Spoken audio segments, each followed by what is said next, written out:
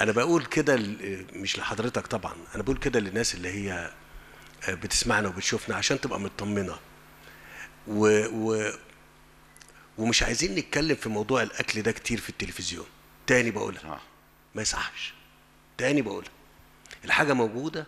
وإحنا آه، شفافين جدا معاكم وصادقين جدا معاكم وبنقول لكم كل حاجة. لما بيقول موسم القمح وموسم الرز وموسم ال- البنجر والقصب ده معناه إن حتى لو أنت شايف النهارده أربعة ونص شهر للقمح ده معناه إن الإنتاج القادم هيخليك يعني ده بيسلم ده وإحنا محافظين على الست شهور رغم إن ده بيكلفنا أعباء ماليه أنا عايز أقول لكم كلمة ست شهور معناها إن أنا بقى أحبس أو أحجز فلوس لمدة ست شهور صح كده؟ يعني بشتري وأحطهم في المخازن مش كده يا دكتور صح أحمد؟ يا فندم. ده اللي إحنا بنعمله.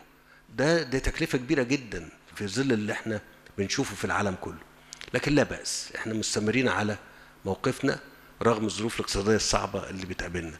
لكن عايز أقول إن حتى لو أنت بتشوف النهاردة أربعة ونص أو ثلاثة أو ثلاثة ونص ده معناه إن الإنتاج القادم اللي هو خلال شهور يمكن آه،. إبريل ولا حاجة بالكتير مش كده؟